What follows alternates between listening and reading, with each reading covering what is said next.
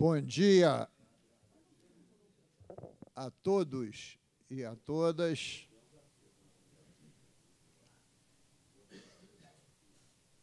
Vamos iniciar a nossa. Bom, Fadini, por favor. Cavalheiro, por favor. Sentar. É. A reunião começou. É. Bom, mas esta vai ser a nossa última reunião do ano de 2023. Estamos aqui, eu e a deputada Marta Rocha. E marcamos essa reunião nos últimos dias propositadamente, né? porque aguardávamos a votação do orçamento para 2024, né? para não fazer uma reunião em cima de hipóteses. O, a redação final do orçamento foi votada ontem às 16 horas. Então, orçamento, quando eu falo o orçamento, é o PEDES, o Plano de Estratégia de Desenvolvimento Econômico e Social, o PPA, o Plano Plurianual, e a LDO para 2014, né, que é a Lei de Diretrizes Orçamentárias. Essas três leis são as leis orçamentárias.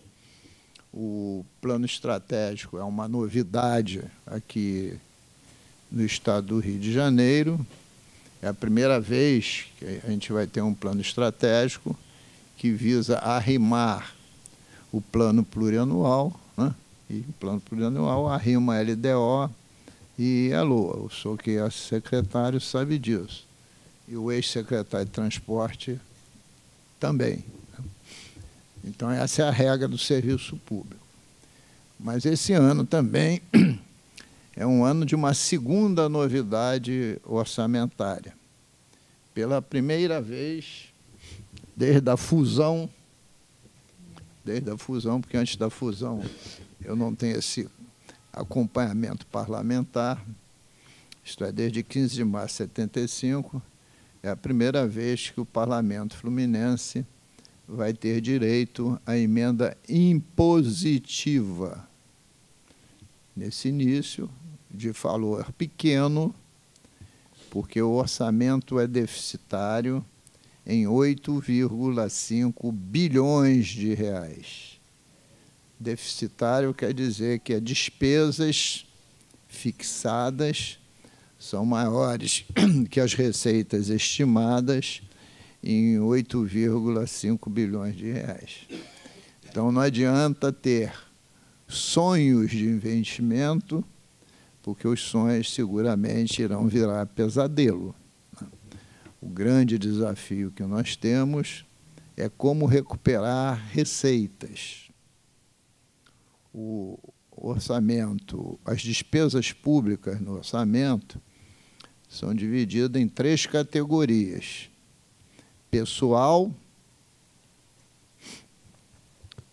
evidentemente estamos falando pessoal, pessoal em encargos, somatório, custeio e investimento. Não precisa ser um grande contador, né, deputada Marta Rocha? Saber que o gestor, quando senta na cadeira, o orçamento é deficitário, o que, que ele corta primeiro? Investimento. Depois ele corta o quê? Custeio. E depois, folha ele não pode cortar, ele atrasa pagamento. Né? são um pouco vovó viu a uva. Então, é a situação de como a gente está entrando em 2024. Bom, e as emendas impositivas serão 0,37% o total das emendas das receitas líquidas. Isso se eu dividir por 70 deputados, cada deputado teve direito de destinar, no máximo, 2,7 bilhões de reais, milhões de reais. Que para trem é um cisco, mas é antes isso do que nada. Né? Ainda não tem, não acabou as regras. Sendo que dos 2,7 milhões de reais por deputado, 30% obrigatoriamente é para a saúde e outros 30% obrigatoriamente é para educação. Por via de consequência, sobra 40% para alocar em qualquer área que ele assim o desejar. Desde que essa alocação deste valor, a, a, a emenda tem que ser tecnicamente viável. Eu não posso botar assim. Eu emendando 100 mil reais, como sonharia o Hélio, o Hélio que eu estou falando é ele, para construir a EF-118, que custa 6 bi. Eu estou brincando, né? Com 100 mil reais.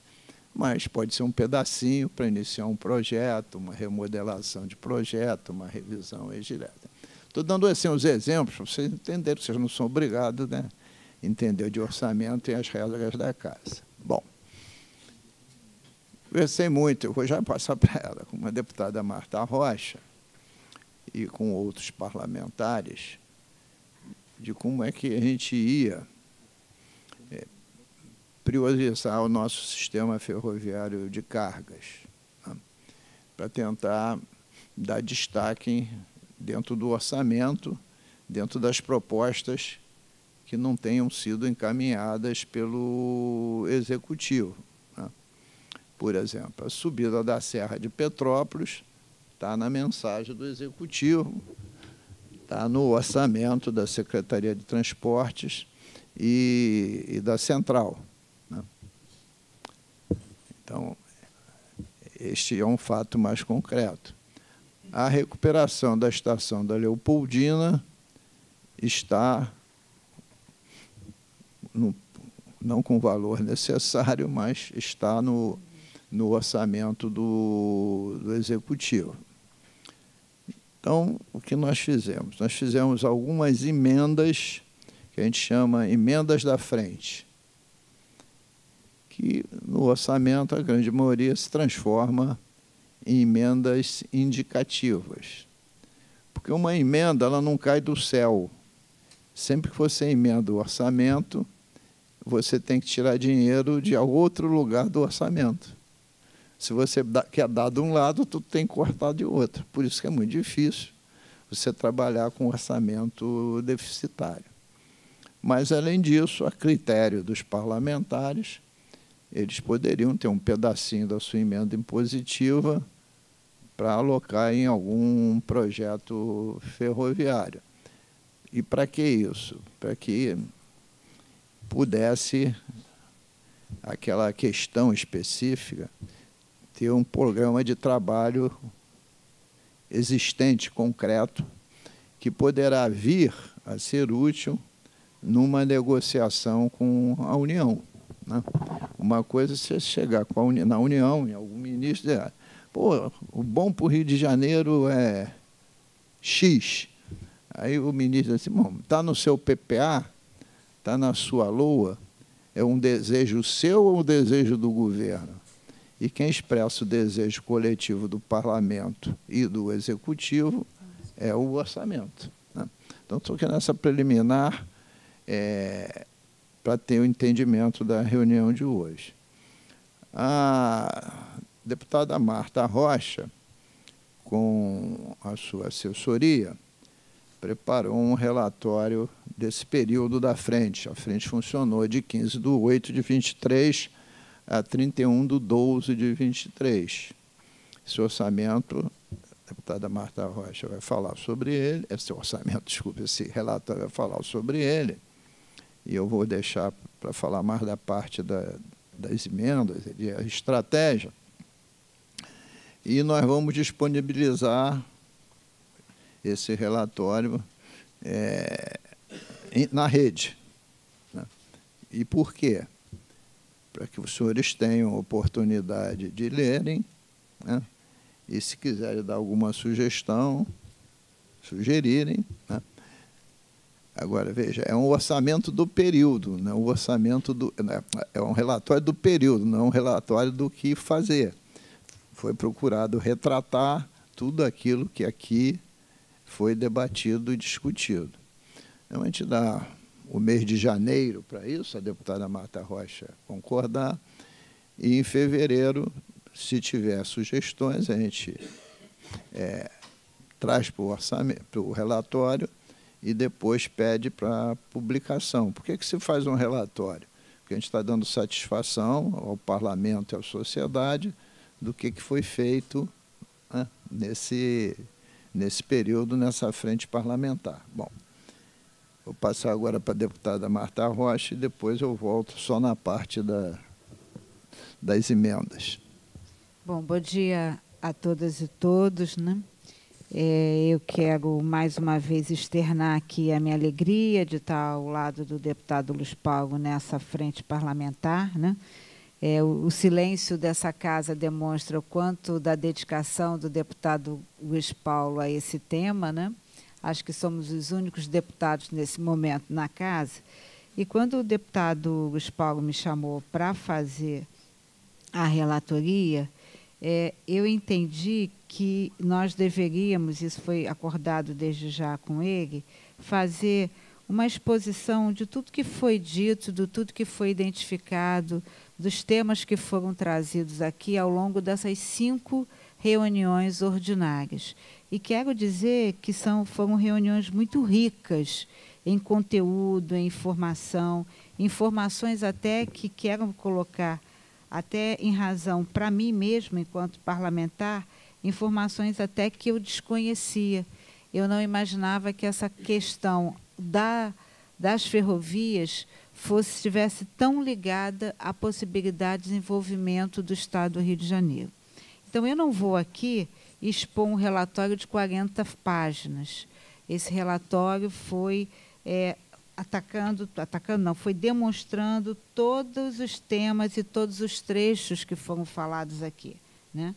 É, desde as questões da Centro-Atlântica, a questão aqui é, da, malha, da malha ferroviária abandonada, a necessidade da renovação dessa concessão ferroviária, a questão da MRS logística, o trecho ali de Petrópolis, que é Vila Inhomiga em Petrópolis, né? a questão da estação da Leopoldina. Né?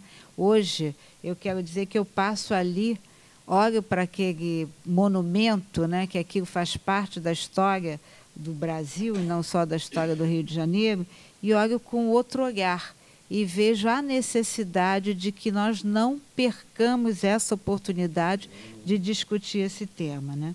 A questão do, circo, do ciclo orçamentário, a inclusão das ferrovias. Então, esse, esse relatório já está com o deputado Luiz Paulo, ele vai, ele vai estar disponível aos senhores, e o que a gente deseja mesmo é o olhar crítico de cada um, é indicando né, aonde nós precisamos adequar, aonde nós precisamos melhorar, e eu tenho certeza que todos os senhores e as senhoras poderão trazer contribuições muito importantes.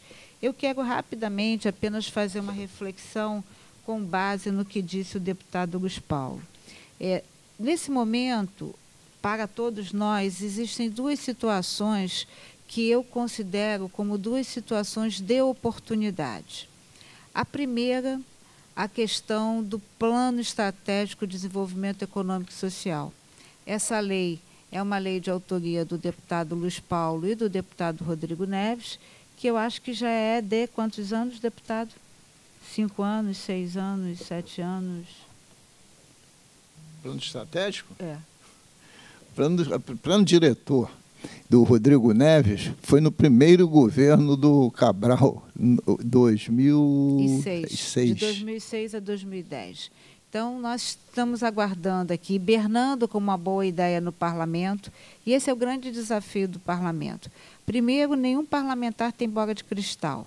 Portanto, o seu projeto de lei vai ser sempre aquilo que ele observou no mundo real, na convivência social.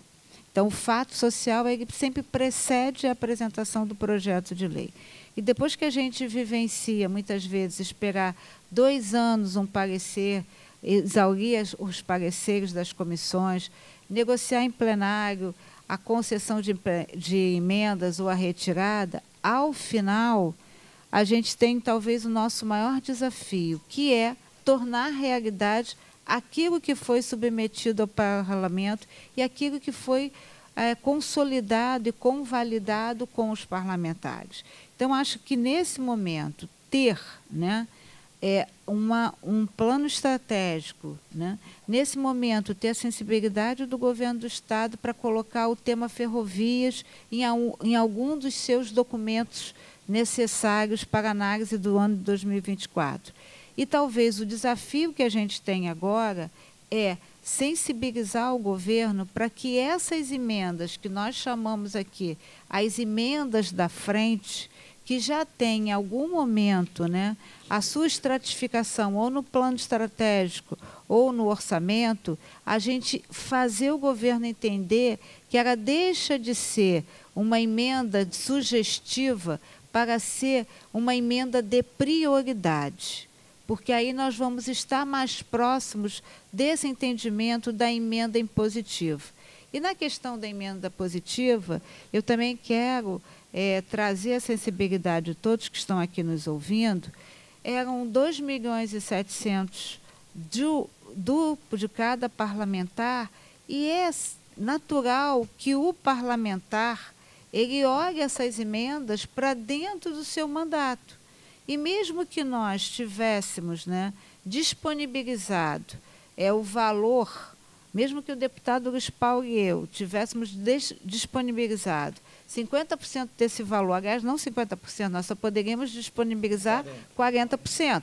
Né? De livre iniciativa só seria 40%. Isso não resolveria o problema que a gente enfrenta hoje. Então, eu acho que o papel que essa frente é, vai exercer é exatamente esse, né? de já ter uma articulação com o governo, isso já aconteceu quando a gente percebe a inserção do tema nos documentos apresentados pelo governo, nas mensagens apresentadas pelo governo para análise do parlamento, e agora, né, com a força dessa frente, e é bom a gente ver aqui ex-secretários, as representações da Secretaria da Sociedade Civil, da Firjan, o secretário de Japeri. Então, é bom que a gente tenha todas essas pessoas aqui para que a gente possa exatamente sensibilizar o governo no sentido de entender que as emendas da frente né, que contribuem para o desenvolvimento econômico, para o investimento, que esse investimento é importante para o desenvolvimento econômico e que a gente possa tornar essas emendas como emendas de prioridade e que o governo entenda né, que elas têm um condão de serem positivas, não pelo desejo do deputado, como são as que nós recebemos, mas, sobretudo, pela necessidade, pela importância de incluir as ferrovias nesse plano de desenvolvimento do Estado do Rio de Janeiro. Então, deixando aqui a disponibilidade do relatório e, à medida que forem seguir surgindo as sugestões, encaminhar o deputado Luiz Paulo e a gente já vai discutindo e adequando essas sugestões. Era isso. Obrigada, Obrigado, deputado, deputado Marta Rocha. Olha só, então ficamos assim combinados. Né? Será disponibilizado na rede, no grupo, no coletivo, na rede coletiva, o relatório. Né? E de imediato. E quando e quando for sancionado o orçamento, a gente disponibiliza, a gente disponibiliza as páginas do orçamento que estão as emendas. Né?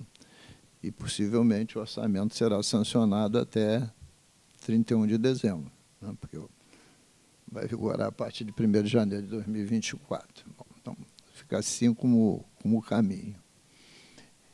Eu acho que, de forma pragmática, eu queria citar aqui alguns avanços que tivemos.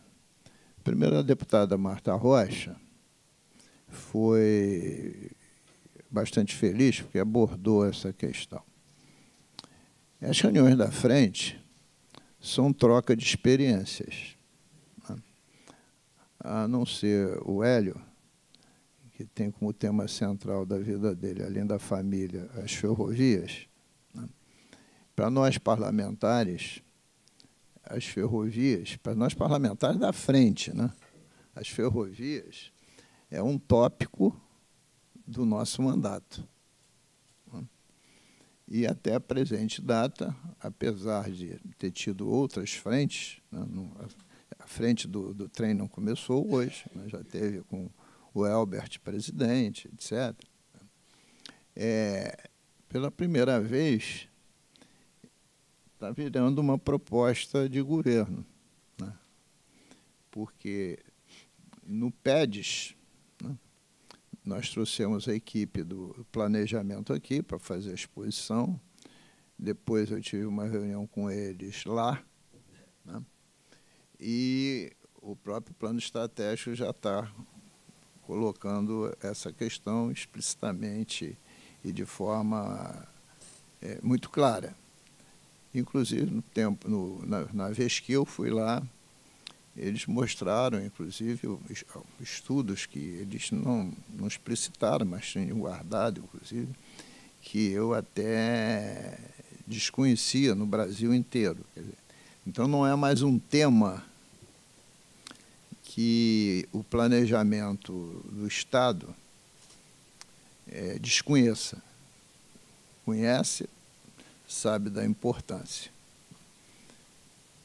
E eu acho que a Secretaria de Planejamento é a secretaria mais importante, do ponto de vista estratégico, que o governo tem. Porque o secretário de Transportes, que não me ouça o ex que está aqui, as prioridades são as prioridades dele, não as prioridades de Estado. Muda o secretário, muda a prioridade.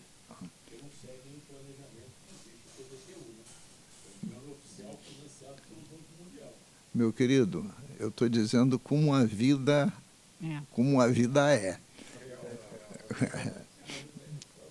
Só da, só nos últimos anos, eu já perdi a conta. Cinco. A gente teve cinco secretários de transporte diferentes. Se perguntar aos maioria deles o que, que tem debaixo do trilho numa ferrovia, ele é capaz de não saber. Bom, mas vamos lá. E o planejamento tem que ser planejamento de Estado. Né? A questão da nossa luta do plano estratégico é que o plano estratégico seja um planejamento de Estado e não somente de governo. Porque de governo, muda o governo, muda tudo. A gente tem feito um discurso aqui que sonhamos que um dia a União tenha um planejamento estratégico de desenvolvimento econômico e social. Ah, mas nós temos o PAC. O PAC não é planejamento estratégico. O PAC é a junção de um elenco de boas intenções? Mas não é um planejamento estratégico.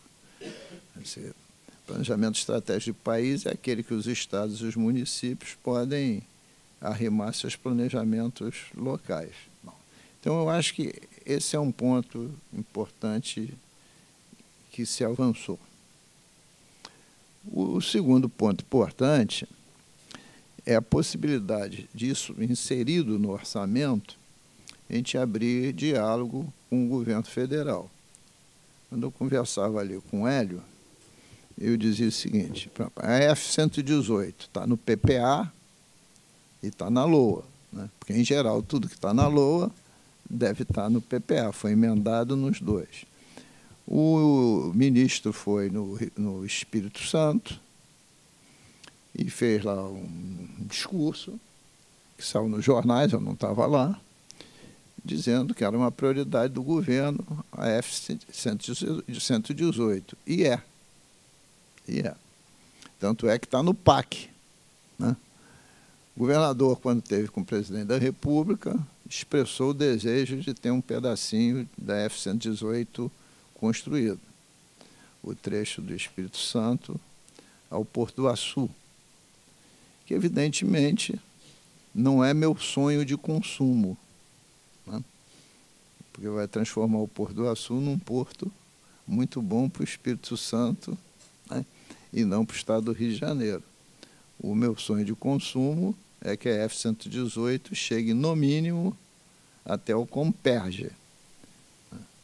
E por quê? Porque também atenderia os interesses da Petrobras. Porque por mais que a Petrobras venha adiando a inauguração é, da, do Rota 3 e facilitado com Perja, né? com Perja, mas com um projeto diferenciado, tá, novamente está previsto para 2015. Né? E se fizer esse trecho da F-118, a gente vai ativar a ferrovia em diversos municípios da, da região dos lagos. Né?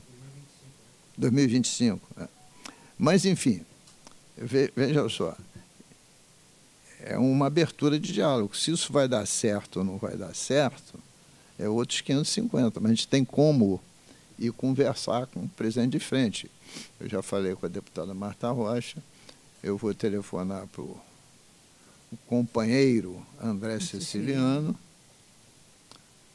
e pedir que ele faça uma intermediação de uma agenda, de uma agenda com o ministro assim que o orçamento for publicado, que a gente vai levar com o orçamento na mão. Este é, este é um, um ponto importante. E também, com os outros trechos aqui que eu vou dizer quais são, é, listados no orçamento, a gente também tem como fazer outras demandas e, e solicitar que os prefeitos que têm interesse também demandem, né? No caso de Barra Mansa Angra. Então, é, é essa a estratégia. E aí, no ano que vem, a gente continua com essa estratégia e aí a gente volta também a ótica para a questão do transporte de passageiro. Né? A gente escolheu o de carga primeiro, porque de carga não tinha absolutamente nada, nem de carga nem de turístico. Se a gente perde o orçamento, perdeu tudo. E o ferroviário de passageiros, obrigatoriamente, faz parte do orçamento. A concessão está micada, a Gumi já revelou que está querendo um comprador para parte dela. Né? E a gente pode aqui, já no ano que vem, começar a discutir uma, uma nova modelagem. Mas eu não vou misturar isso agora, porque é o ano que vem. Nosso companheiro de Japeri tem até a modelagem dos sonhos dele, dele, que eu não discordo, eu até concordo. É uma hipótese interessante. Bom, então é, essa, é esse o caminhamento. Nós colocamos no, como emendas de PPA, a F. Estou tirando o relatório, a Estado de Ferro 118, é a emenda número 82. Emenda de PPA é emenda de meta, não é emenda de valor. Então você cria a meta para na LOA você ter o valor. E a justificativa dela é, é viabilizar a implantação da da F-118, dividindo-a em três subtrechos. Começamos da metropolitana para lá, né? mas não, na, não necessariamente na ordem de prioridade. Ambaí,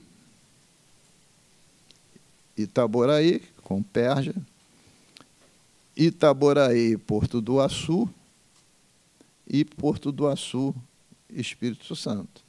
A gente não está dando ordem de prioridades, né? mas essa é a subdivisão que nós, nós fizemos. Mas, na verdade, estamos. Meu querido, como não é Itaboraí? Compeste então não tem quem. Eu falei Ambaí, falei Ambaí em Itaboraí, não falei em Queimados, não. Itaboraí, porque o Compérgio é Itaboraí. Queimados é do Eu sei, eu sei que é. Sei até que se emancipou de Nova Iguaçu. Nós somos antigos, né? Bom, então não vou ler a emenda toda, mas é a é emenda de meta. Né? Então é F-118 inteiro com uma meta. E aí tem, tem a, as propostas de, de percentual para cada ano de elaboração do projeto, etc., etc., mas vocês vão receber. Isso é uma emenda da frente. Assina todos os deputados da frente. Andrezinho, Caiado, Jari, Lucinha, Marta Rocha, Rosenberg Reis, Samuel Malafoia, Tande Vieira e Yuri. Vê que a frente também cresceu, né? Bom. Depois, a gente está incluindo aí como emenda da frente, mas a emenda de LOA, que é aí de valor, com uma, o fabuloso valor de 10 mil reais. Né? Por que, que é isso? Não importa se é 10 mil, um real. É para abrir o programa de trabalho. A estratégia é abrir o programa de trabalho. Para o trecho Paraíba do Sul, Cavuru, Andrade.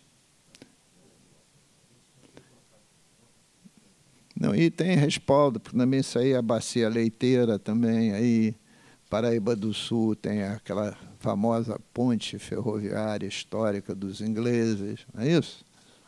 Bom. E colocamos aqui, recebemos o prefeito, que eu chamo prefeito português, né, o prefeito Miguel Pereira, que veio aqui. Ele é interessante ele fazer o, o lobby dele, traz uma pilha de revistas de Miguel Pereira, Parque do Dinossauro tal. E também ia andar lá em Brasília, aí a gente também lançou pela, pela frente, acordado com todos os deputados, também abrir esse programa de, tra de trabalho para a implantação da ferrovia turística de, de Miguel Pereira, num total de 25 quilômetros, porque hoje ela só tem 4,5 quilômetros e meio que é muito pouco para uma ferrovia turística, é só um embrião. Né?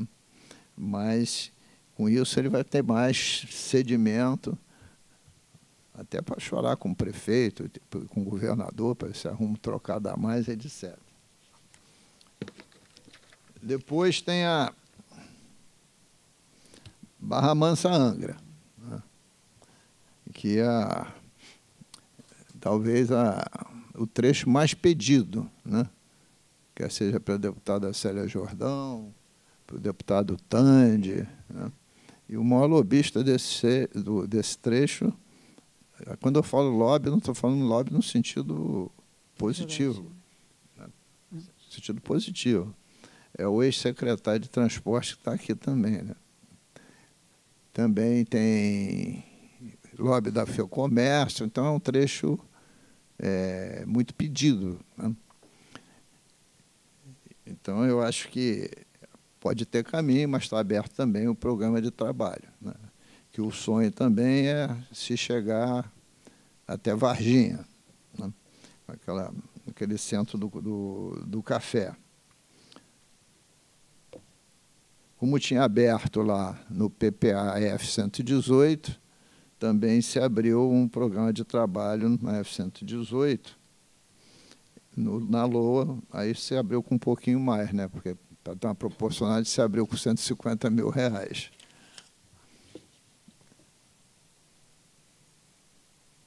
Bom, quisemos também abrir um programa de trabalho para a recuperação da nossa Leopoldina. Eu queria abrir um, um capítulo. É, o município da capital né, é, também estava votando as suas leis orçamentárias e seu plano diretor.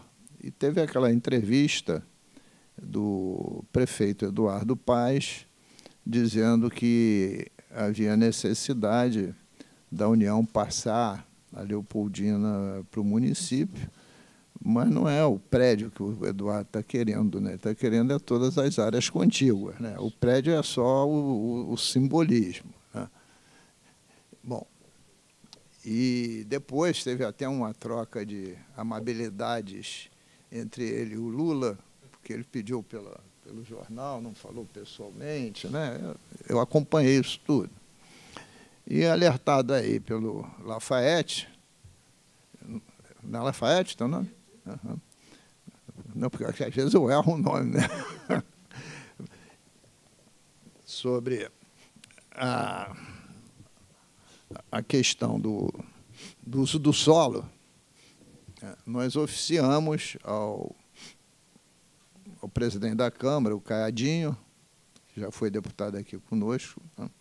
E é irmão do Cláudio Caiado, onde o gabinete que o Lafayette. Cláudio não, é Cláudio Caiado, que o. O outro é Carlos. O outro é Carlos. Que o Lafayette trabalha. E depois conversei com ele no telefone né, para mostrar que as áreas contíguas, né, ter uso do solo, né, principalmente aquela área imensa, onde virou canteiro do, das obras do metrô, a gente evidentemente não ia criar óbice. O que a gente queria era preservar a estação inteira e a via permanente ligando a estação da Leopoldina à estação de São Cristóvão. E por quê? Porque se você incorporar ali do lado, não importa se seja comercial, se seja residencial, se seja uso misto, né? o problema do transporte continua. Então você sai dali da Leopoldina para pegar o metrô. O que, que você faz? Vai para que estação do metrô? Se tivesse funcionando, né? Se tivesse funcionando, né? Mas como não está, tu vai para onde? Mas é longe, para ir a pé. Se você tiver ativado o trecho ferroviário Leopoldina, estação de São Cristóvão, é só baldear, né? Baldeia para o metrô ou para qualquer outro canto, né? Você pode ir para Santa Cruz, Campo Grande, Japeri, né? E tem o projeto do trem de alta velocidade. Sim, também. E tem o projeto que nós não chegamos a conversar lá com o tal dono do projeto, porque Bernardo, porque parece também só ele conhece isso. Né? Eu, particularmente, eu acho que isso é uma maluquice. No momento que a gente não tem recurso nenhum, o que eu leio no jornal é uma coisa de, de louco. O trem sai da Leopoldina, vai passar na Barra. Mas está tá escrito no jornal, passar na Barra vai fazer, vai fazer túnel em argila mole, vai ter um custo estratosférico. Que concessão vai retornar isso? Eu não, não quero entrar nos. Para mim, as modalidades de concessão têm que ser fundamentalmente alteradas, não, todas elas não prestam mais. Então, para mim, isso uma coisa difícil, mas também considerando também isso. Né? Encaminhamos o ofício e o Lafayette aí fala da lei que foi aprovado e o que não. Você não me deu, não. Está contigo. Fala aqui no microfone, por ah, causa da fala, gravação. Fala aqui, ué. Tem microfone ali. Tem aqui, senta aí e fala aí.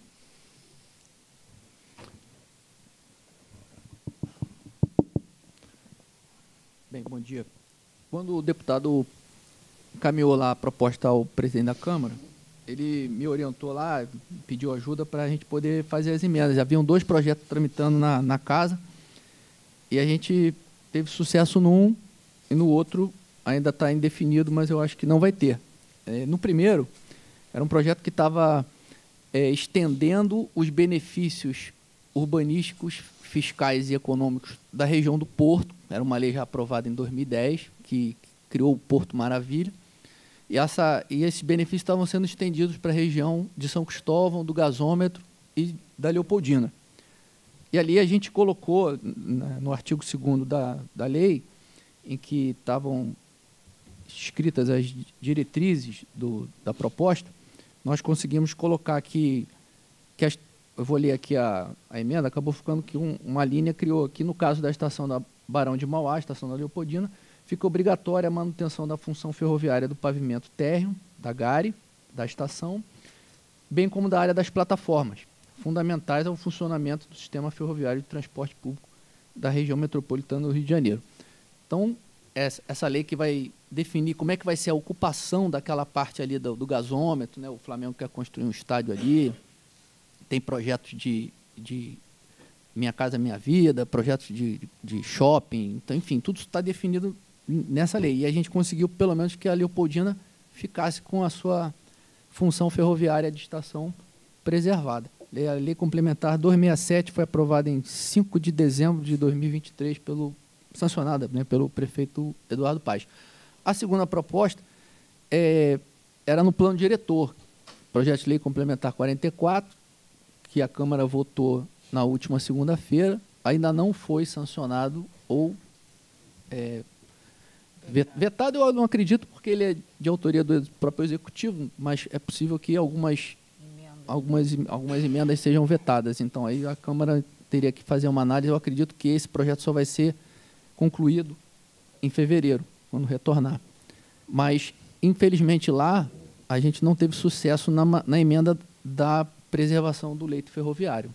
Né? É uma coisa que depende um pouco do executivo também, mas pelo menos na legislação a gente não teve sucesso lá, foi rejeitada. Bom, eu, eu verifico que nessa questão do plano diretor, na questão do plano diretor, Quanto ao leito ferroviário, eu não vejo grandes problemas, né? porque a via permanente, os terrenos são da União. O que a gente queria evitar, nesse caso específico, era ocupação aérea, porque a superficial é impossível. Você não tem como desafetar terrenos da União com leito ferroviário para depois vender, para incorporar, etc. Né? Mas se passasse ficava melhor ainda, mas mais confortável. mais confortável. Mas a primeira já dá conforto. E, além do mais, essa emenda também, só para abrir o programa de trabalho, que é a 1087, né, que a gente botou como título recuperação da via permanente ferroviária Estação Leopoldina. E a justificativa é exatamente é emenda de despesa para a central, para a eletrificação da via permanente ferroviária entre Barão de Mauá, Leopoldina, e a estação de São Cristóvão. Né? Exatamente para ser esse viés de escoamento. E é muito fácil explicar para um secretário de urbanismo, para um secretário, um prefeito, etc., seja o nome que for, né, de como seria isso importante para a valorização de toda a área. Tem, se tiver o estádio do Flamengo, mais ainda. Né. Pessoal, em vez de andar de trem de São Cristóvão ao estádio, ele salta na Leopoldina, pô. Então, é, é, é sabe, não, eu, eu acho que. A gente sempre conta com bom senso, né, é, deputado? E eu acho que a conjuntura pode se encaminhar bem, bem favorável. Então, deixa a gente continuar aqui. Essas foram as emendas. Essas foram as emendas da frente. Mas também tem as emendas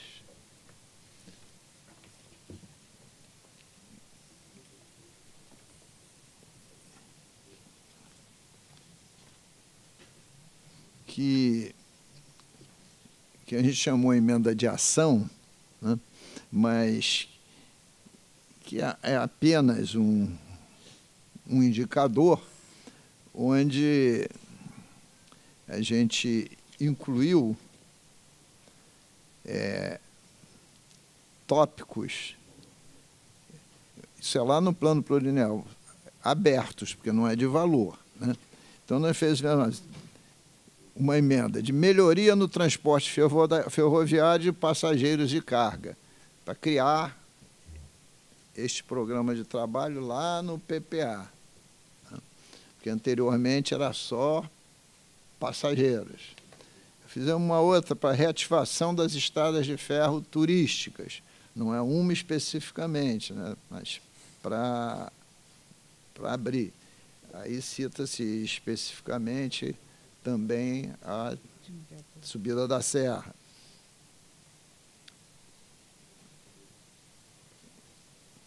Cento e dezoito, enfim, que eu já falei, enfim. Também isso está no PPA. E ainda por último, tem as emendas impositivas, que aí não pode ser da frente, porque tem que ser de um parlamentar. A emenda positiva não é, não é coletiva por hora. Então, na emenda positiva, e aí o governo não pode botar como indicativa, nós botamos a implantação de Paraíba do Sul, Cavuru, Andrade, como impositiva também, 100 mil reais. A turística de Miguel Pereira, botamos 140 mil reais. Barra Mansa Angra, botamos 50 mil. A 118 botamos 150 mil. E para prestigiar o nosso jovem companheiro engenheiro da Baixada, que não está aqui hoje, que precisa ser melhor detalhada essa questão, mas para começar a estudar isso, o projeto de Santa Rita, viu, Hélio? Eu esqueci o nome dele, daquele jovem. Marcos Jovem. Né? E também botamos é, novamente aí como emenda positiva também 100 mil reais, 100 mil reais para Leopoldina. E por que a estratégia de botar em positiva? Porque essas ninguém pode mexer. Então, era mais ou menos o, o, o resumo que, que a gente queria fazer desses quatro meses de, de trabalho. E o ano 2024 vai ser um ano muito duro. Né? Porque é um ano que nós temos uma demanda de pessoal muito grande. A deputada Marta Rocha preside a Comissão de Servidores Públicos, e lá na Comissão de Servidores Públicos eu faço, faço parte, mas sou lugar-tenente dela. Né? Nós temos a grande crise da segurança pública, que afeta o Estado como um todo. Ontem nós votamos e aprovamos a Secretaria de Segurança Pública e aprovamos, estou falando aqui porque nós não somos da base do governo, para dizer que a gente não está dando todos os instrumentos que o governo precisa. Porque é uma tarefa muito difícil. Secretaria de Segurança Pública, Secretaria da Polícia Civil, Secretaria da Polícia Militar, conseguir integrar isso, tem todas as vaidades pessoais e os corporativismos em jogo. São três polícias diferentes, né? porque a Secretaria de Segurança é a Polícia Federal. E a integração que necessariamente tem que ter com a União. Né? E, num, e segundo o secretário, a deputada Marta Rocha estava presente na audiência pública, a Polícia Civil tem 8 mil servidores. servidores. Diz ele que precisaria mais de mais 5 mil. A PM tem 43 mil, diz ele que precisava ter 60. A fazer isso tem que ter um concurso público. O concurso público é sempre lento. Só que tem que é despesa permanente. Entrou na folha, não sai nunca mais. Cadê o dinheiro? Está todo mundo no, estourando o limite de despesa de pessoal. Né? Mas nós conseguimos, inclusive no plano estratégico, que veio aqui com sete missões, transformar a segurança pública territorial em uma das missões. Não sei se a gente só, só para a gente ver o. É porque a gente não. A gente tem a tendência da gente ver o umbigo da gente sem ver o conjunto. Então, é um ano muito difícil. Aprovamos aqui um, uma lei extremamente desgastante, né? E eu fui o autor. A gente é, recompôs a alíquota modal do ICMS em mais dois pontos percentuais, saiu 18 para 20. Seguramente, com críticas da FEComércio, da Firjan e do mundo, né, que para nossa burguesia deslumbrada, né, todo mundo quer um estado de paz, um estado social, etc. Mas não tem estado de paz, estado social sem imposto que atinja principalmente os mais ricos. Né? Para minorar um pouco esse buraco, porque aquelas duas amaldiçoadas leis 192 e 194, promulgada pelo Bolsonaro em 1 de julho de 2022, retirou dos cofres do Estado por ano a bagatela segundo o Concefaz, que é o Conselho de Secretários de Fazenda, 8 bilhões e meio, que é o número que eu repito. Segundo a Secretaria de Fazenda do Estado, 10 bilhões de reais. Como são estimativas. Né? Não, extorsiva se você fizer a análise exatamente que não se deseja investimentos melhores, né? porque a lei não foi contra o Estado, a lei foi contra o Brasil, não foi uma lei contra o Estado do Rio de Janeiro, é uma lei nacional, uma lei nacional que quebrou o pacto federativo. Não cabe ao Congresso Nacional, seja extorsiva ou não, legislar sobre ICMS e foi de um oportunismo político eleitoral. Você não prova uma lei de redução brutal de alíquota em energia, telecomunicações e combustíveis fósseis, né? que combustível fóssil é bem supérfluo, não é bem essencial, energia e telecomunicações é bem essencial, às vésperas de uma eleição.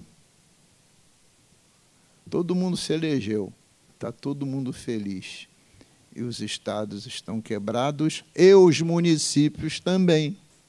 Né? Porque o ICMS, 75% é para o Estado e 25% para os municípios, segundo, segundo né, o IPM de cada um dos municípios. Aí eu pergunto: 2022 passou. Nós tivemos redução dos preços dos produtos? a cadeia intermediária levou tudo.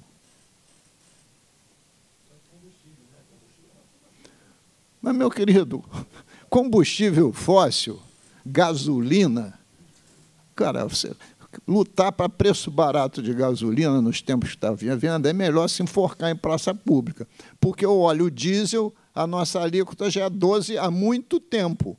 O que a ver também. A alíquota alta na gasolina e tem que ser alta mesmo. Isso é uma demagogia, querer gasolina barato para fazer média com a classe média ascendente e votar e depois elas por elas. Energia elétrica está corretíssimo, é bem essencial. Eu fiz questão de dizer, energia elétrica e telecomunicação são bens essenciais. Independente da lei do Bolsonaro, o Supremo já decidiu a alíquota de energia e telecomunicações, decidiu para o Brasil inteiro, é 18% e ponto.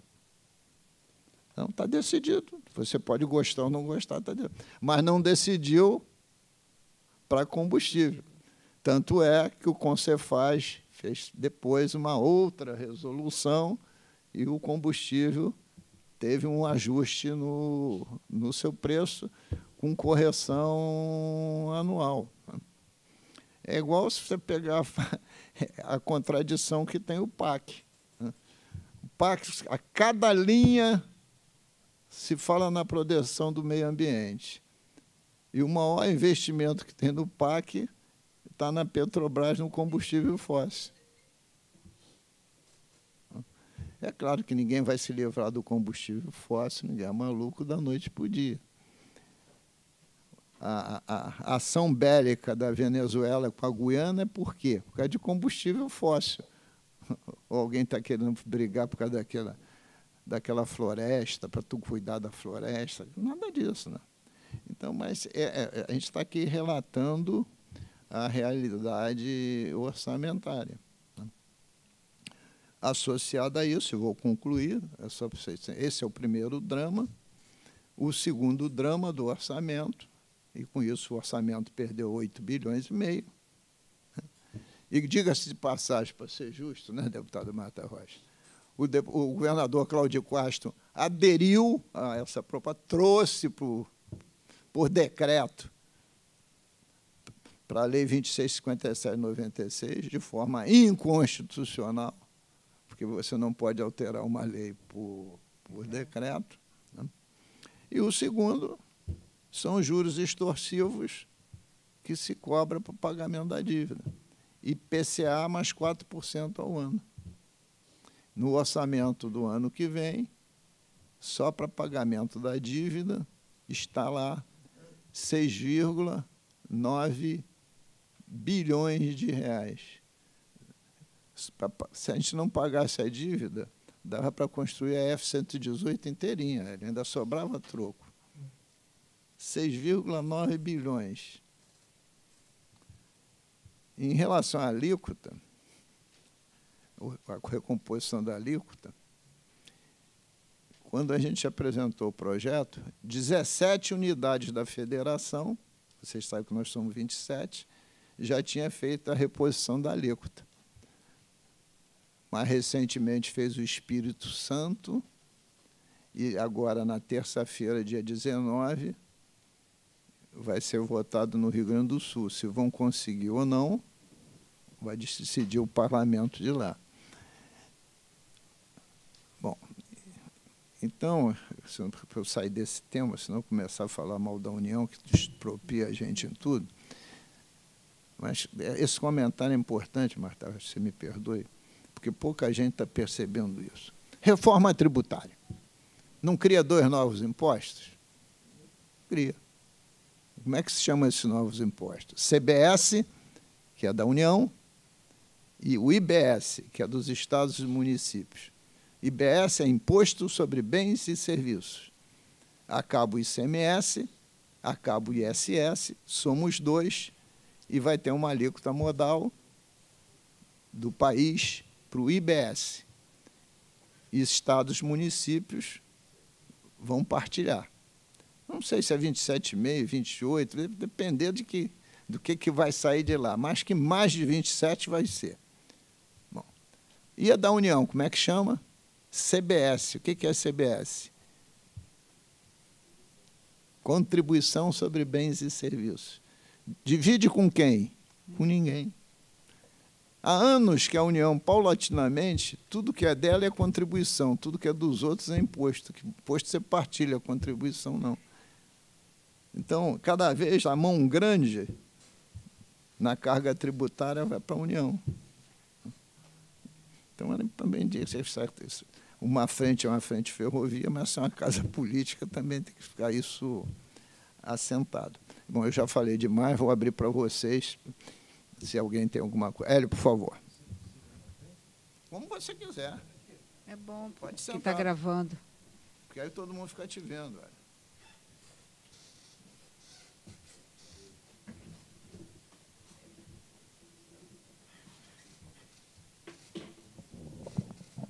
Oi, alô. Primeiro, deputado, Eu só queria fazer um, uma observação a respeito do projeto do TAV. O senhor fez o comentário da dúvida, vai passar pela Barra da Tijuca, o, o, o, o, Não, eu falei no que eu li no é, jornal, não, só não, conheço não, tá, de leitura de jornal, mais nada. Só quero da ciência de duas coisas. Vai sair a nova edição da nossa revista da associação até o final do mês de janeiro, e nós convidamos o CEO do TAV Brasil, o Bernardo Figueiredo, que foi até companheiro nosso na rede ferroviária, ele foi diretor da rede, para fazer um artigo. Ele já fez esse artigo e nós o convidamos.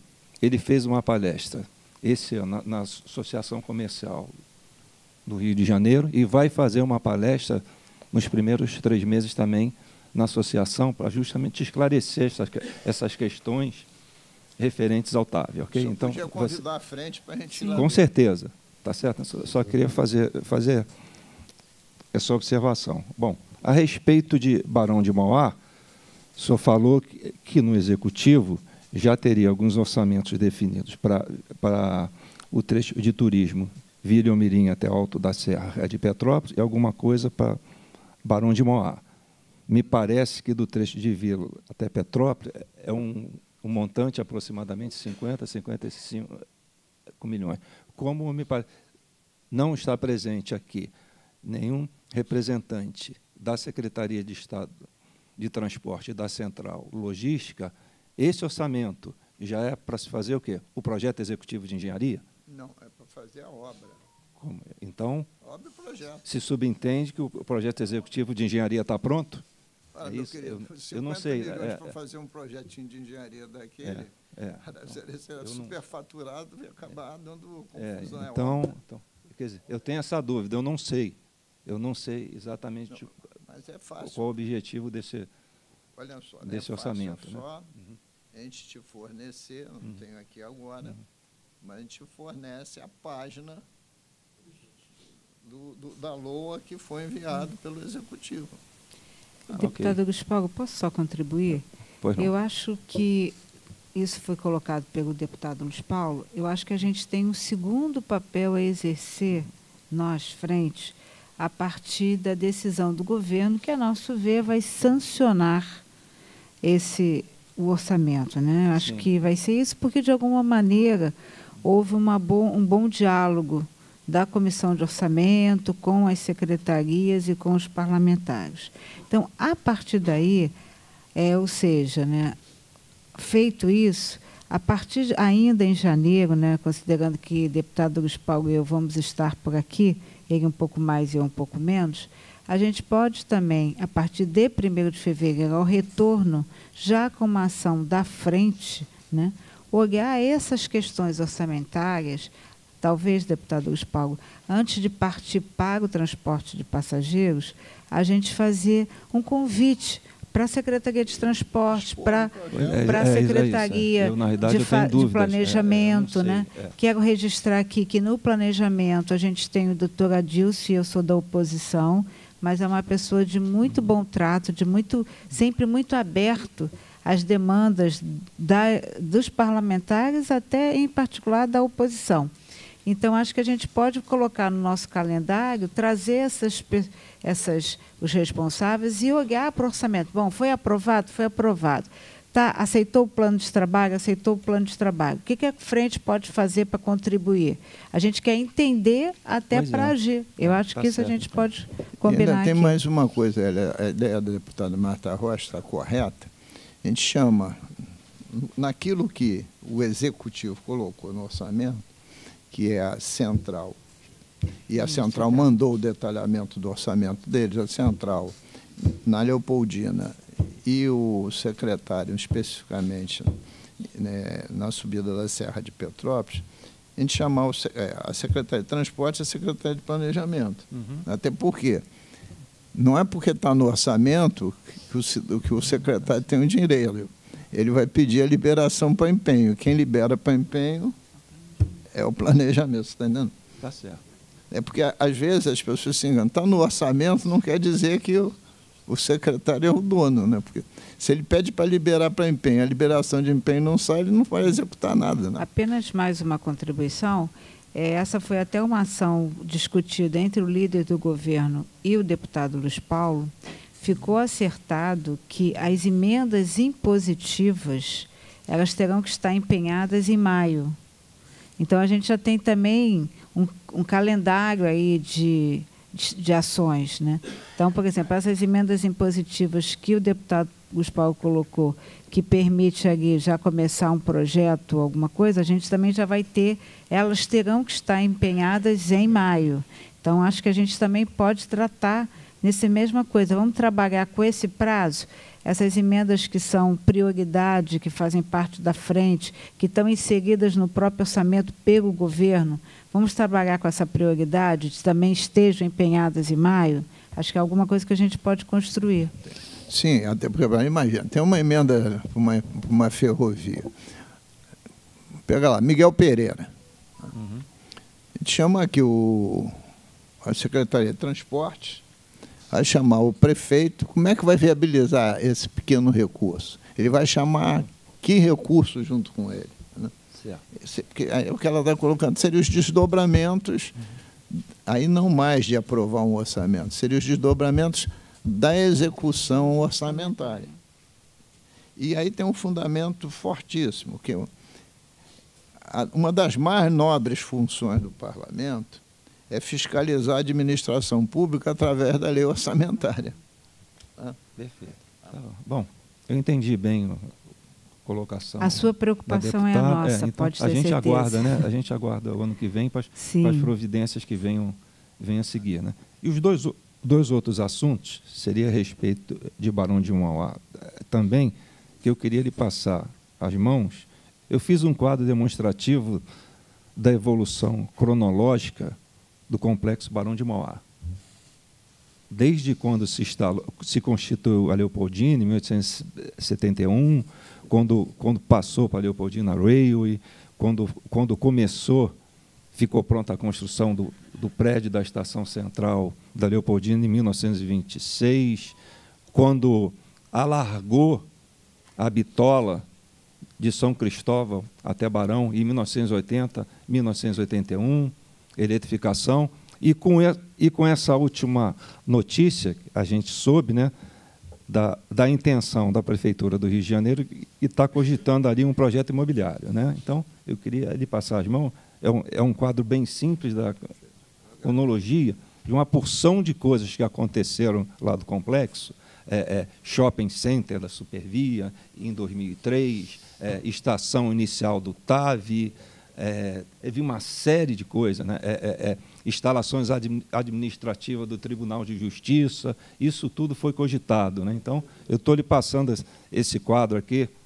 Tá? Só eu agradeço.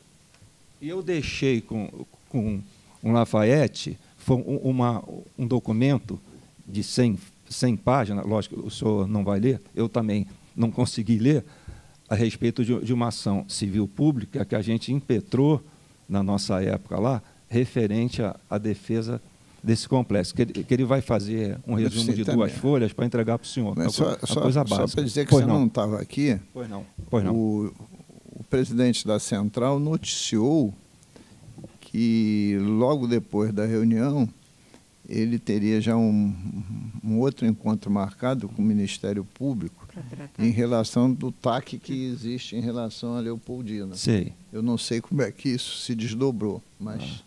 tem um TAC, o termo de ajuste de conduta, certo. do vista da recuperação da Leopoldina. É, eu não estava na, na quarta reunião ordinária, eu não, eu, não, eu, não, eu não peguei esse assunto. Então tá. Tem isso, tem e o último assunto, o senhor já foi claro, em que na frente vai ser discutido a partir do ano que vem, seria o sistema ferroviário. Leia-se Supervia. Né? Nós participamos do Fórum de Mobilidade Urbana, a Associação dos Engenheiros faz parte, e nós estamos extremamente apreensivos e preocupados que a situação da concessionária Supervia, a cada dia ela está piorando mais. É um evento de problema por dia, no mínimo sabe? Então, mas esse assunto vai, vai ser discutido o ano que vem, né? E nós temos dois, dois representantes também desse fórum, que é o Antônio Carlos e o, e o Valente, que de, devem falar alguma coisa, né? Mas a preocupação nossa está ficando a situação insustentável, deputado. A situação da concessionária Supervia está ficando insustentável. Então, é isso que eu queria colocar. Olha só, a gente acompanha isso é. cotidianamente. É que nesse aspecto também, a função de botar a boca do mundo, etc., etc., enquanto comissão, é da Comissão de Transportes, que é uma comissão permanente. Né? Então, gente, tudo aquilo que a gente for desenvolver para isso, a gente vai ter que tentar desenvolver junto com a comissão permanente. Que ainda é o, o, deputado Dionísio Lins? É o deputado ah, Dionísio Lins. Ainda é, né? Perfeito. Mas eu concordo uhum. plenamente que vai de mal a pior. Tanto vai de mal a pior que eu abri aqui dizendo que a Gume está tentando vender Perfeito. a parte dele. Perfeito. E o próprio governador está cogitando. A última entrevista dele, ele cogitou criar alguma coisa que está criado. Né? Ele não, podia criar uma companhia para essa companhia contratar as terceirizações, mas já existe a central, pô. Vai, vai criar o quê? É. Está hum, certo. Na, numa oportunidade que, que eu tiver, eu vou também dizer isso a ele. Mas tá aí, você tem a central na mão, pô. Rompe o contrato, encampa e sai para isso. É, mas olha só. O Rio Metrópole não tem corpo técnico, não é? Sim, mas, sim mas, mas a, a, a companhia em si já existe. Você pode é. usar o Conselho do Rio Metrópole, né, que dá as diretrizes para a central. Não tem, não, tem, não tem problema nenhum. Mas, porque a grande função para mim do, do, do, do, do, Conselho é o assento do, do, dos prefeitos para definir pô, as lógicas, as diretrizes, os investimentos, etc. Porque a central, sim, ela é operativa. O presidente da central, ó, tenho que vou fazer isso, de recurso entrou para fazer isso. Ele não. É claro, ele vai trocar para dizer o estado de conservação, enfim. Mas ele não é quem toma a decisão final, porque ele não tem o dinheiro. Tá bom, deputado. Da minha parte é isso. Obrigado, viu? Pois não, cavalheiro. Pode, faz, por favor. Isso aqui é. Em primeiro lugar, bom dia a todos. Meu nome é Antônio Carlos. Eu sou também do Fórum de Mobilidade Urbana. Né, antes de mais nada, ressaltar a importância dos dois parlamentares na defesa do transporte ferroviário. Né? Queríamos nós que tivéssemos outros parlamentares né, e a maioria da casa interessada em, em, em debater esse assunto. Mas deputado Luiz Paulo, deputada Marta Rocha, o fórum encaminhou ao governador, no início de dezembro, uma carta aberta manifestando sua preocupação em relação ao sistema de transporte passageiro por trem. Né?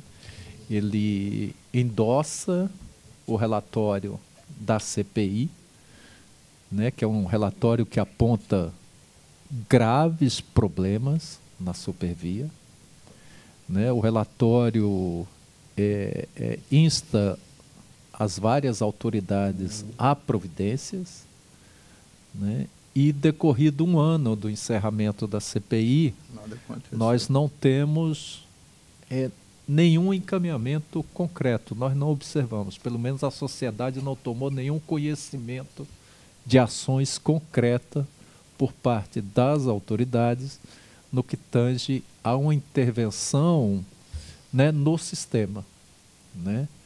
E nós queremos ressaltar aqui que a população usuária dos sistemas de trens da Central do Brasil corre um grave risco. Né? Quer dizer, o sistema está operando com muita deficiência. É, a malha ferroviária carece de manutenção. Nós temos problemas graves nos trilhos, deputado. Né? Os senhores tiveram a oportunidade de vistoriar. vistoriar. Eu mesmo, peça esse, esse, esse envelope. Né? Eu mesmo fotografei, né? É, é, é, você tem uma ideia? Aqui, ó. Isso é, isso é o grau de deterioração desse trilho. Né? Isso aqui é a estação de Madureira. Né? Isso aqui é a estação de Madureira. Se você for a Tancredo Neves, está a mesma coisa. Né? E várias. E olha isso em estações. Se estação está assim, imagina como é que não está no leito. Né? Que a sociedade não tem, não tem acesso.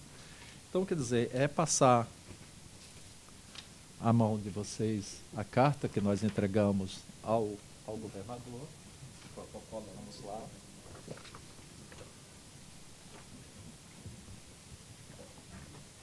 Eu acho que a gente também recebeu lá. E ressaltar a nossa, a nossa preocupação. Né? A gente espera que o ano que vem, como o senhor disse, a gente possa efetivamente estar priorizando o sistema de passageiros que não sei se a gente vai sobreviver no ano que vem, mas a gente aponta a necessidade do Estado intervir né? e fazer. Aí, evidentemente, aí a gente abre a discussão em relação como investir. A gente sabe que o Estado está quebrado, mas é preciso uma solução de curto prazo, não dá para esperar. Obrigado. Bom, eu agradeço, só para lhe noticiar que tanto eu quanto a deputada Marta Rocha fizemos parte da CPI. A gente constatou isso tudo. E está no relatório porque a gente pegou lá o, a composiçãozinha de vistoria e fomos até Japeri, fomos até Santa Cruz, percorrendo todos os todo o trecho além de parar em algumas estações, etc, etc. E o relatório da CPI deriva de alguns meses de trabalho. Quanto à carta, um companheiro do Clube de Engenharia entrou em uhum. contato comigo, me mandou, eu passei para a deputada Lucinha, para a deputada Marta Rocha, e disse que nós assinaríamos. Eu não podia assinar como presidente da frente, eu não submetia à frente. Né? Tem uma questão só democrática, mas disse que nós assinaríamos tranquilamente. Então, eu conhecia antes de vocês irem ao governador. Né? Mas é, dizer que a gente poderia assinar como deputado, mas não, não posso dizer, não posso botar como assembleia nem como frente, porque eu não tinha submetido à frente, apesar de ter certeza que a frente assinaria, mas é só uma questão de. Né? E também dos outros deputados, porque o espaço de tempo era muito curto. Mas eu achei uma boa, uma boa medida, porque é, é mais, um, mais alguns segmentos pressionando por uma solução. Por favor, companheiro.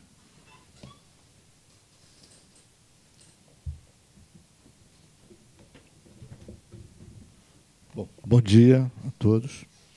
É, primeiro, eu, eu, eu, eu preciso informar que tem 45 dias que eu deixei de ser secretário de transporte de Japeri e sou apenas eu, consultor.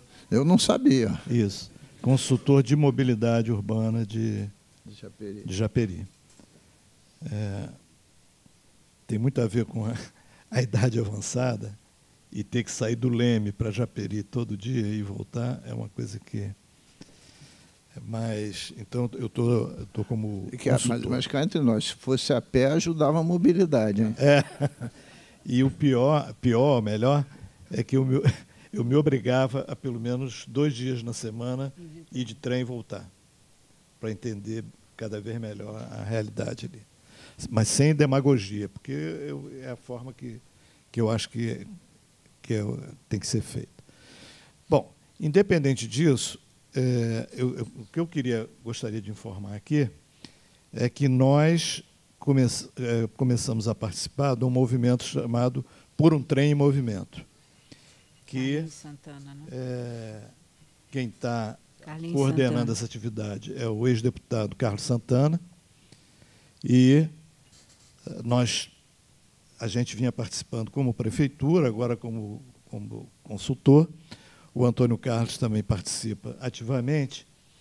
E é, é, nós já tivemos 15 né, reuniões em vários lugares, na Baixada, Zona Oeste, Zona Norte, e ah, no, no, movimento de aglutinar lideranças do movimento popular, movimento comunitário, sindical, em torno dessa questão do trem. E amanhã vai haver uma, uma última reunião que vai, para organizar, dar uma organização a esse movimento. É, nós vamos ter jornal, vamos ter, enfim, um mínimo de estrutura organizacional. E a gente eu, é, gostaria de dizer que essa, essa, esse movimento está à disposição da frente para o que deve é, entendeu? Para o que precisar. É, dela fazem parte é, muitos ferroviários, tem um pessoal que conhece bem a realidade e, e nós vamos então gostaríamos de, de participar junto com essa com a frente aqui da Alerj dos próximos movimentos com vistas ao trem de, especialmente do, da região metropolitana. Obrigado, é isso. Às vezes eu recebo uma comunicação do, do Santana falando da, das reuniões. A deputada Marta Rocha está dizendo que também. O problema é, é de duas, duas ordens. O primeiro é que é sempre em cima da hora. Né? E a gente não consegue formular adiante da gente é, com essa total agilidade. Né? Mas eu acho que é um movimento muito importante, né? porque conscientiza e agrega. O que nós observamos na, na CPI uma certa, vou botar aqui entre parênteses, ciumada, né? porque parece que tem um, um, coletivo que acha que aquela questão é daquele coletivo, aquela questão é da região metropolitana inteira. Né? Eu acho que quanto mais tiverem movimentos, mais aglutinar, mais força e expressão é, as demandas têm. Né? E quanto mais pluripartidário for, também melhor, né? Porque você tem na União uma sigla que domina, no Estado tem outra, e nos municípios tem outras siglas. Então, quanto mais gente tiver das mais diversas siglas partidárias, melhor. Você não pode ficar com o carimbo de um movimento partidário, porque isola, tem que ser um movimento pluripartidário. E a, a, nossa frente aqui, querendo ou não, é absolutamente é, suprapartidária. Né? Mas eu acho que o movimento dos trens, ou trem movimento, é também um, um caminho importante, porque ela tem essa regularidade, não sei se é quinzenal, mas tem, é muita reunião toda semana. Haja fôlego, preparo físico e agenda para isso. Né? É quase uma dedicação exclusiva. E nós, aqui no parlamento, não tem como ter dedicação exclusiva. Porque o parlamento, querendo ou não, você tem que tratar de praticamente quase todos os temas. Eu, e vou passar para Marta Rocha, para a gente concluir que eu estou com frio, ela também. Mas eu, quando me elegi, eu cheguei aqui como deputado engenheiro. O senhor quer falar? O senhor, por favor, vem para cá, eu vou fazer só esse comentário, o senhor fala. Como deputado engenheiro. Né? Eu não quis ir para a comissão de obra, comissão de transporte, comissão de meio ambiente, comissão de saneamento. Eu escolhi a parte Constituição e Justiça e orçamento. Porque sem dinheiro o resto é sonho. Mas já fiz o comentário, por favor. Deputado, só, só se identificar. Vou me apresentar aqui, eu sou o Douglas Haddad, estou representando a Secretaria de Transporte. Pois não, Que Douglas. bom. Desde a reunião da F-118, se eu não me engano, eu tenho comparecido às, às reuniões da frente. É, é- é só colocar, né, como o Hélio propôs aqui, é- é, a gente está aqui escutando, a preocupação, principalmente com a supervia, é legítima, o secretário está preocupado, a secretaria está tá preocupada com isso. Quanto ao projeto da primeira ferrovia, a gente pode discuti-la também e trazer, não foi feito pelo setor que eu trabalho especificamente, mas a gente pode trazer o pessoal que fez o projeto básico ali e, e trazer essa conversa. Não, é que, eh, como eu li o orçamento, o que a Secretaria de Transporte propôs na subida da serra foi, foi a execução. Uhum. E não fazer projeto, é execução. Mas é tradicional. tra- Sim, mas que deve, deve haver já um pré-projeto feito pela casa para poder estimar projeto aqueles custos. E, e, e, né, detalhar. vim com o executivo e a, e a detalhação. É, queria receber o, relatório também, se fosse Perfeitamente. possível. Não tô, acho que não estou nesse. É só, é só você me, me deixar um e-mail que Tá. a gente te inclui na listagem, não tem problema nenhum. É, a questão da supervia que a gente está tendo ali é muito é, questões contratuais que impedem investimento direto do governo, né? Isso é, é- é tradicional, não é algo que ah, quero fazer um investimento, por exemplo, em muro foi uma discussão que já vem há muito tempo ocorrendo. É, e quando você propõe isso e, e- tenta tirar de dentro da secretaria, tenta discutir com a PGE, isso é, é limitado. O contrato não, não permite esse tipo de alguns investimentos sim, outros não, né? As questões de investimento de manutenção são diferentes. É, mas é algo que a gente está aberto a discutir e, e pronto para receber tudo que for em discussão. Não tem. né, é, evitar esse, esse isolamento. Não, não, não pode ser assim. Obrigado. Não, Eu lhe agradeço, mas veja só. Peraí. Eu não vou trazer aqui o tema da supervia. A gente vai ter essa discussão. É, eu, eu- como é seu nome mesmo, engenheiro? Douglas. Ô, Douglas, olha só. O modelo de concessão, que o secretário Washington Reis não tem nada a ver com isso, com o modelo, porque não foi ele que escolheu, a época que foi escolhido era um modelo interessante. Hoje é um modelo falido. O modelo está falido. Aquela modelagem não serve mais para os tempos atuais.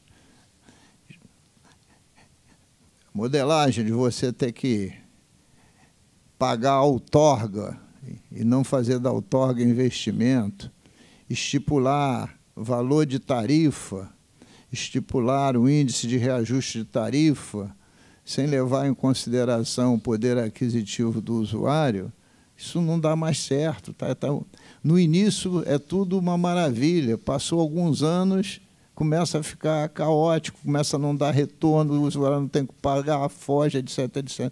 Então, isso, tem que, isso não serve mais, essa concessão tinha que acabar, ser zerado e começar um outro processo bem estudado, bem modificado, etc, etc. Mas a gente vai entrar nisso a partir do ano que vem. Não tem como, porque a gente tem um, um calendário a cumprir. Só, aí, só essa informação. Mas, por favor, deixa seu e-mail, tá? Por favor, senhor, é, secretário.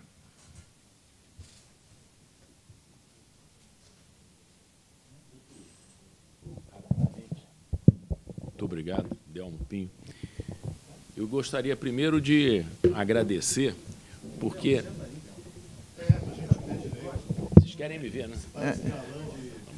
Ninguém conhece ele, pô. Estou ansioso por vê-lo. Bom, bom dia. Muito prazer. Bem, primeiro eu queria agradecer porque realmente, na minha opinião, e de vários aqui presentes que eu conversei, esse, esse fórum ele conseguiu chegar ao objetivo principal que nos trouxe a, a participar das reuniões, que é justamente dar um foco. É, eu tinha uma verdadeira tristeza né, quando eu ia a Minas Gerais e esse equivalente lá na Assembleia Legislativa de Minas funcionava muito bem, com muita força e muito prestígio. Né? Então, foi muito bom esse trabalho dos senhores e das senhoras deputados, né? no sentido de que é, eu acho que às vezes é mais fácil a gente centrar esforço em problemas pequenos do que pensar na solução de problemas gigantescos. Né? os problemas pequenos têm alguma chance de serem resolvidos. Os problemas mais complexos são muito mais difíceis. Ainda mais com um orçamento com déficit de 8 bilhões e meio né, para o ano que vem. Mas essas, essas três linhas é, de penetração no interior, que são linhas pequenas da antiga malha da, da bitola métrica, né, da Leopoldina e tudo mais, é, tiveram o. Tá, obrigado. Tiveram exatamente o que nós precisávamos. Por quê? É, nós estamos em entendimentos, eu diria até muito bem encaminhados com o governo federal, com o Ministério dos Transportes, no sentido de reativação de alguns segmentos. Nós não vamos conseguir, é, na bitola métrica no Brasil, ativar um número grande de quilômetros, mas em quilômetros específicos nós temos chances, inclusive aqui no Rio. Então, essa, esse corredor ferroviário para cargas e turístico, que é o Varginha-Angra, ele é um corredor que tem um sentido econômico e financeiro forte. Então, ele tem chance real de sair.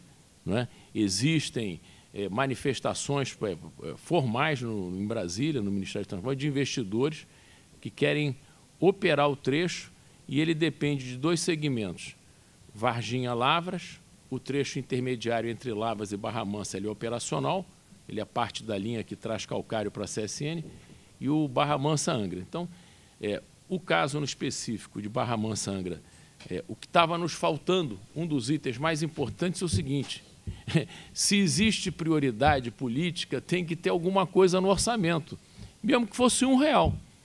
E nós nunca conseguimos isso. Então agora nós temos ali, existe vontade política, agora dinheiro nós não temos.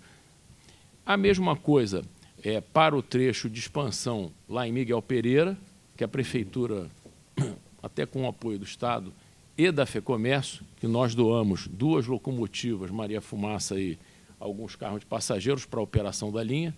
Foi um, foi um presente da FEComércio para o turismo naquela região, né? FEComércio Rio. É, esse segmento também vai é, contando com essa expressão que é prioritário. Agora, se tem dinheiro ou não é uma outra questão, dinheiro é uma questão de oportunidade, né? Também é muito bom. E o Paraíba Cavaru também é muito bom, que é um trem que, turístico que já operou até muito interessante há cerca de 15 anos atrás, mais ou menos. Bom, da onde vem o recurso para isso? O recurso tem que vir da onde tem dinheiro a FCA, que é a concessionária, ela tem uma indenização a pagar ao governo federal. E essa lei do marco ferroviário, ela destina que pelo menos 50% do recurso de indenização tem que ser aplicado naquela região, no estado de origem. Então, nós já temos uma massa de recursos.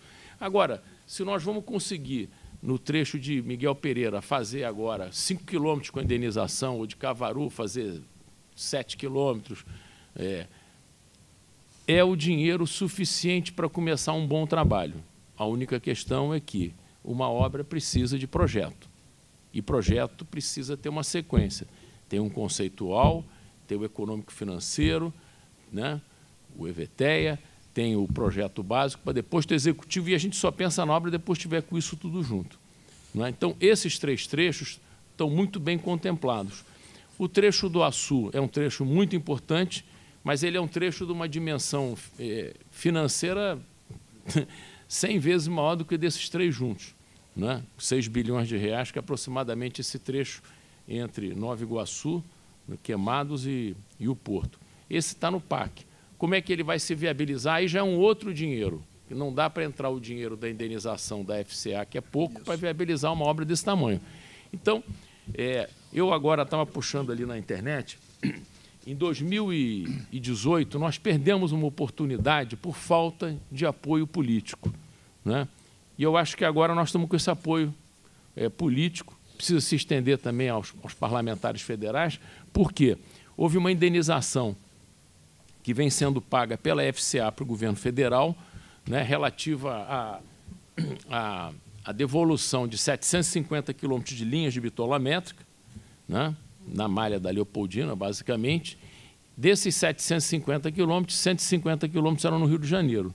Bom, na proporcionalidade, nós tínhamos direito a mais ou menos 20% desse dinheiro, desse recurso, e nós fizemos, formalizamos o pedido justamente para direcionar esse recurso para essas linhas, porque é, era suficiente para começar alguma coisa. Tinha algum negócio até do trem lá da, do Imperador também.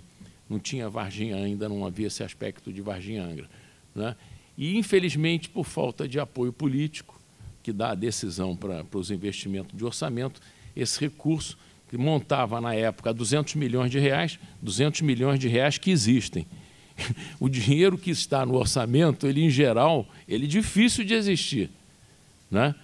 Então, esses 200 milhões existiam, estão sendo religiosamente pagos pela, pela, pela FCA. Da última vez que eu me lembro, estavam pagando 26 milhões de reais por mês. Isso já aumentou, porque eu tenho um, uma correção em cima desse dinheiro. E nós já podíamos estar com essas três obras é, concluídas. E ainda ia sobrar um pouquinho de dinheiro. Né? Eu digo, é, não a de, a de Petrópolis, que essa é um montante imensamente maior também, mas já estaria começado. Então, o que nós precisamos, que eu sempre fico muito constrangedor nas negociações com a União, é não ter a verdade no orçamento. Agora, como nós já temos, viu, deputado, vocês estão nos dando a ferramenta para nós trabalharmos. Né? Então, a FEComércio está muito empenhada na viabilização desses trens turísticos, que são três trens que nós identificamos que têm potencial de geração econômica importante é, no interior. Né? E só para terminar, com relação ao Barão de Mauá, a estação Barão de Mauá, nós tínhamos um plano em curso. Não é? Hélio trabalhou com a gente lá, na época, né, um pouquinho antes, é, e nós conseguimos acertar um projeto direito de restauro do principal da estação, que era a parte de fachadas e telhados. Aprovamos uma lei Rouanet de cerca de 19 milhões de reais, mas infelizmente nós não conseguimos o apoio para conseguir fazer a captação. A bem da verdade, tivemos uma captação garantida de 5 milhões e meio de reais da MRS, faltavam ali 12 milhões e meio, mais ou menos, mas é, faltou suporte é, institucional para conseguir isso. O que eu não entendi bem é porque eu li no jornal há pouco tempo atrás que a União definiu que vai restaurar a estação Barão de Mauá, não é? e que ela tinha é, combinado com o Estado, isso está escrito no jornal, não é? que o Estado ia passar a parcela da estação, só da estação, não tem nada a ver com o terreno, para o SPU, que o SPU estaria contratando o projeto de restauro. Então, acho que está com muito dono nesse negócio. Agora, que existe uma ação do Ministério Público Federal, uma ação é, importante, né, determinando a restauração. Então, por isso é que o SPU teria assumido esse, esse restauro. Agora, importante lembrar, esse assunto que foi colocado na lei municipal é muito importante.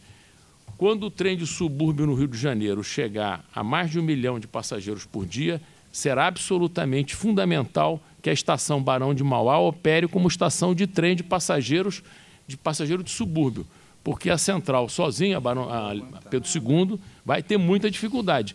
E se nós gastarmos essa área é, da estação e os acessos para outras coisas, vai ficar ruim. É, então, esse aproveitamento daquele imenso terreno que tem quase 100 mil metros quadrados do lado da estação, ele tem que ser feito com muita cautela e tem que pensar pensar-se num potencial de geração né, de receitas acessórias de atividades que possam ser diretamente conectadas à operação do trem, para que isso possa ser reinvestido no trem. Não é? Esse foi o conceito com que o metrô do Rio de Janeiro foi construído e que muitas áreas foram desapropriadas para gerar reinvestimento e, infelizmente, essas áreas foram tiveram uma outra destinação. É? Mas então, eu quero aqui, em nome da FEComércio, deputados, agradecer muito essa, essa ação parlamentar, porque agora, pela primeira vez, nós temos um instrumento é, para mostrar para o governo federal que está priorizado. Muito obrigado. Eu só queria passar, pedir ao deputado Marta Rocha para fazer um encerramento, só dar uma notícia, que eu nem sei se o Hélio viu. Viu, Hélio? É, o governo federal abriu a participação de quem desejasse da minuta de um decreto sobre o sistema ferroviário, como fazer concessões, as definições, etc e deu o fabuloso prazo de três dias, que se encerra hoje. Né? Eu, de qualquer jeito, eu aproveitei eh, anteontem, no final do dia, apresentei uma série de sugestões e pedi para o Pedro, meu assessor, entrar lá no sistema deles e pelo menos dar alguma sugestão. Como está ainda de pé, é até o dia de hoje, eu estou aqui avisando, vocês que são especialistas em internet, etc., rapidamente vão descobrir e, se quiserem, dar sugestão lá. Né? É só, é só esse aviso. Eu nunca vi uma consulta com prazo tão curto na vida, mas Deputada Marta Rocha, por favor. Bom, deputada Luiz Paulo, eu quero apenas fazer dois brevíssimos comentários. O primeiro, a partir da fala do representante aqui da Secretaria de Transporte. E a gente fica até muito feliz de vê-lo aqui.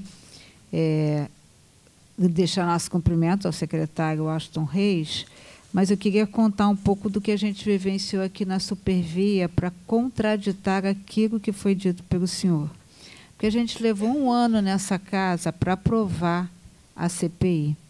A CPI foi aprovada e levou um ano para conseguir efetivar a instalação dessa CPI. No decorrer da CPI, a gente teve a oportunidade de ouvir todas as representações, inclusive o secretário de Transporte à época, que disse que não poderia prestar esclarecimentos porque ele tinha sido advogado da Supervia, na tratando exatamente de, das questões contratuais e dos conflitos resultantes dos contratos.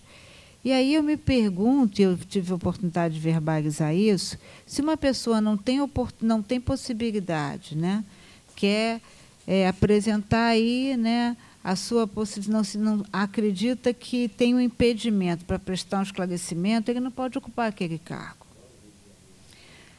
Aliado a isso, nós assistimos aqui, fizemos várias ponderações, eu quero destacar aqui a importância da deputada Lucinha, a importância do deputado Valdec, que foi o relator, deputado Luiz Paulo e eu, éramos membros assíduos, participamos de tudo, fizemos as visitas técnicas, né?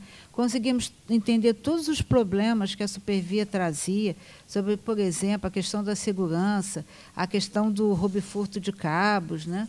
mas o fato é que há uma concessão com a necessidade daquela prestação de serviço.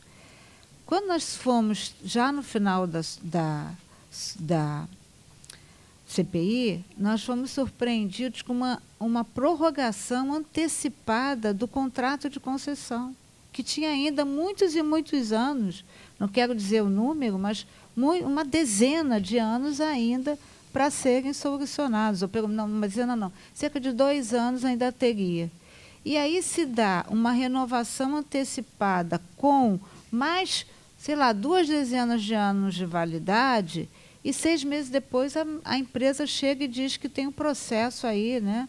de falência, de concordata, seja lá o que for. Então não. Obrigada. Não dá. Fala para mim de novo. Recuperação, Recuperação judicial. judicial. Obrigada. Não dá para a gente é, falar de uma forma singela que existem questões jurídicas. Não tem vontade política nisso. Né? Tem, um, tem uma gestão, eu não estou me referindo ao secretário Washington Reis, mas eu estou me referindo à gestão do governo Cláudio Castro, que já ali estava efetivado desde o dia 1 de maio de 2021, que entende que o transporte e o transporte passageiro não é prioritário. Eu também não quero mais tratar das questões da pandemia, porque a pandemia foi superada. Então, a gente conseguiu trazer de volta o Expresso Santa Cruz, mas isso tem que ser solucionado. E quem tem que solucionar isso é o governo do Estado. Então, deputado Paulo, feitas essas considerações, eu queria submeter a Vossa Excelência duas, dois encaminhamentos. O primeiro, né, que a gente, quando começar a tratar da questão do transporte de passageiros, a gente utilize as decisões da CPI como uma forma né, de sabatina ao governo do Estado para dizer, desses encaminhamentos todos que foram feitos, o que o governo do Estado solucionou? Né? Porque aí também, embora não tenha sido, os problemas não tenham sido identificados lá na gestão atual da Secretaria de Transporte, mas pelo menos a mídia, pelo que a gente lê na mídia, continua tudo igual.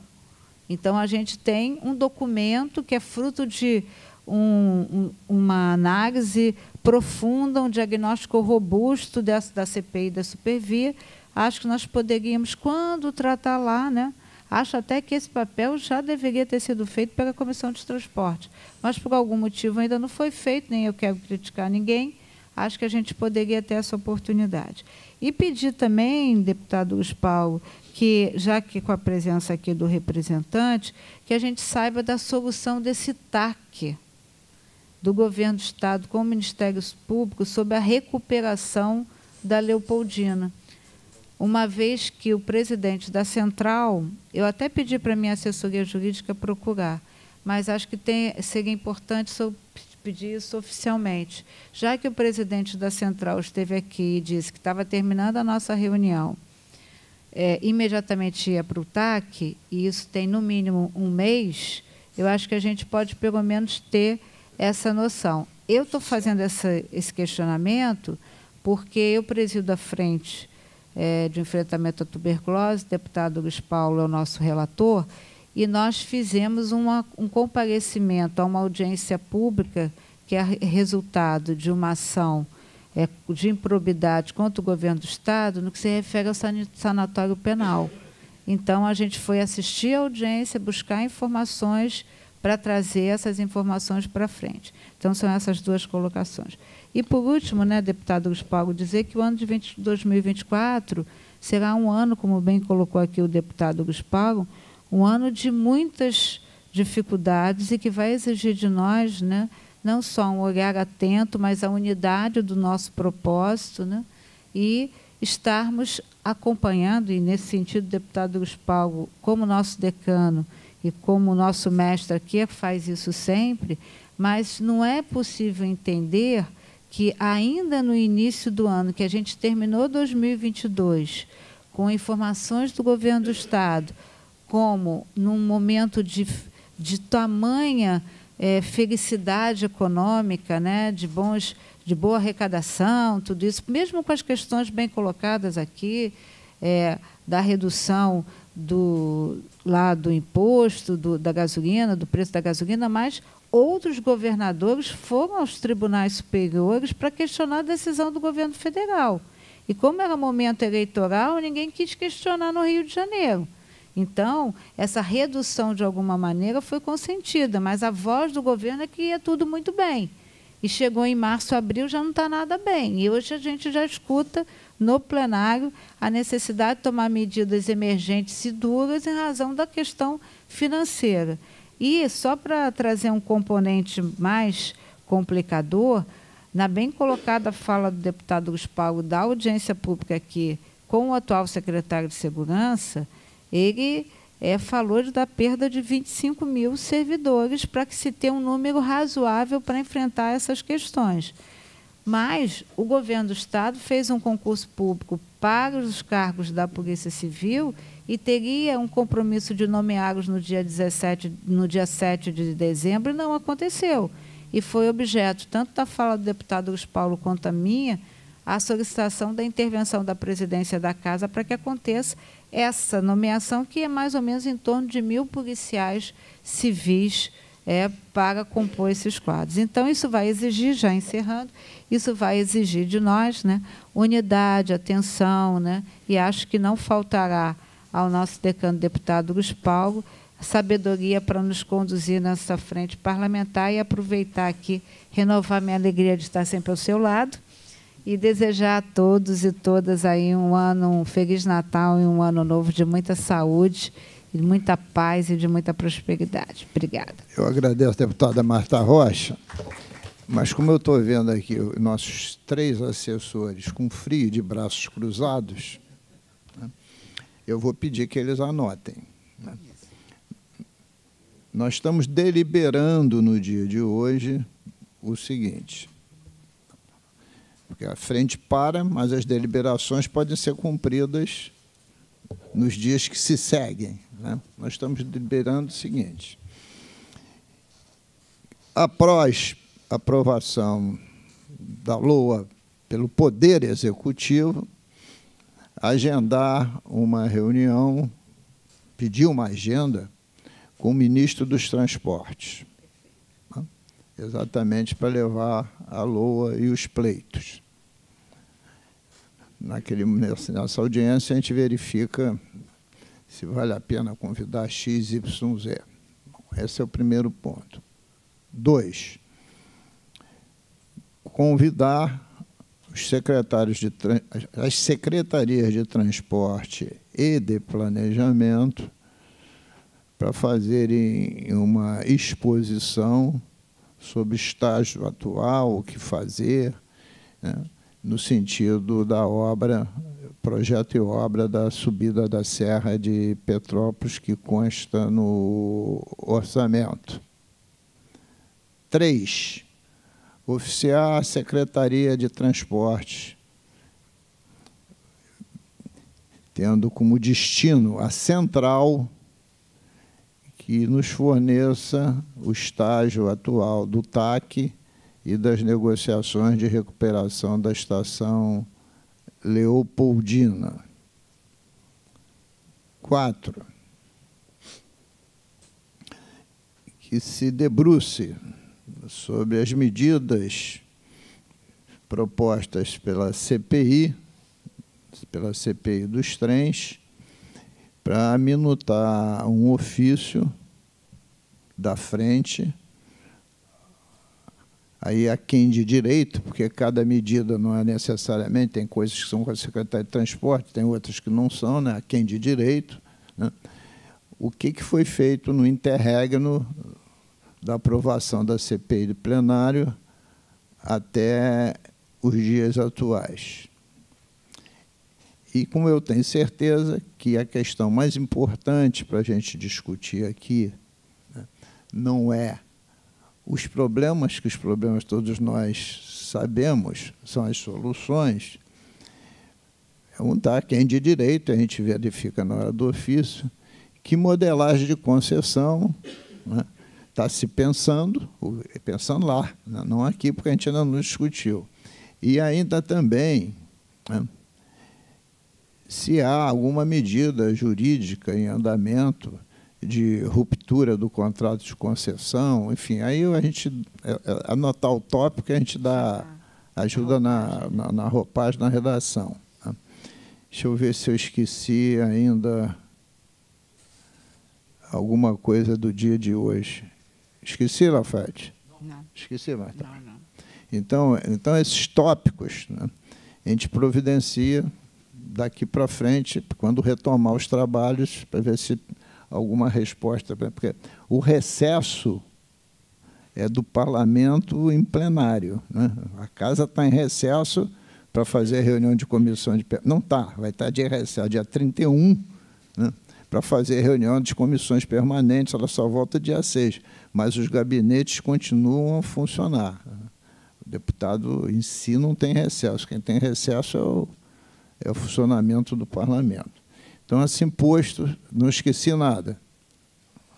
Assim posto, a gente encerra a nossa frente de hoje, desejando, apesar dos pesares, que 24 seja um ano que seja de esperança para a nossa população?